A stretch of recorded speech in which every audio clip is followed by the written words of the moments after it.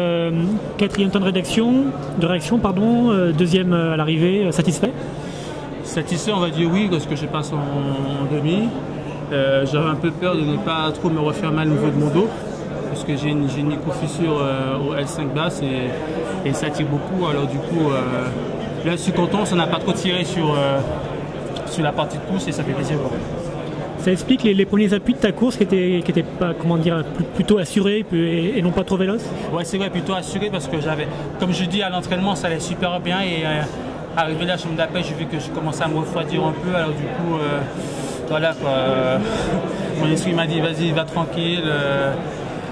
voilà, la série n'était pas trop relevée avec Chambers et le reste, c'était à ma portée et il fallait que je cours en dedans.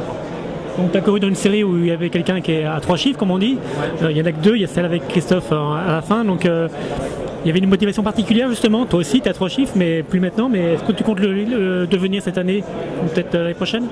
Si, parce que là, après les forces, j'ai fait un beau programme d'affûtage. J'ai beaucoup plus léger sur mes appuis. Et je pense qu'on verra demain ou soit en, demi ou en finale, on va essayer de faire les trois chiffres. Le, vent était à moins, moins 5, hein, donc euh, est-ce que ça vaut euh, tes 10-22 à chaud de fond On va dire, euh, je sais pas, peut-être ça vaut moins, ça. je sais pas, mais le but du jeu c'est que là je n'étais pas vraiment à 100%, alors du coup j'espère que demain le vent va, va nous laisser courir beaucoup plus vite et de faire une bonne perf. En espérant qu'il soit dans le dos? Si, si, voilà, ouais. J'espère parce que là, l'achat d'échauffement, il était beaucoup de, il était beaucoup de face à nous poser, comme on est dans le même axe, je pense que peut-être demain on aura une petite accalmie. D'accord, merci. Merci.